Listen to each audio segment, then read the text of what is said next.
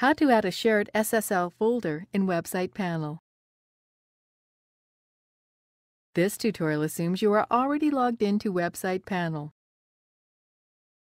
Now let's learn how to create a shared SSL folder in Website Panel. Click on the plan you want to add a shared SSL folder to.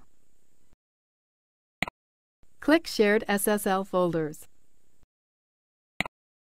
Click Create SSL Folder.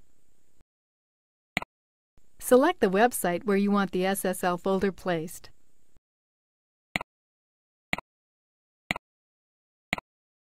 Enter a name for the directory. Browse for the folder where you want to put the shared SSL folder.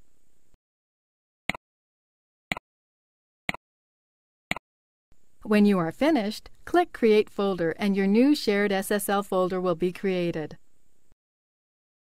This is the end of the tutorial. You now know how to create a shared SSL folder in Website Panel.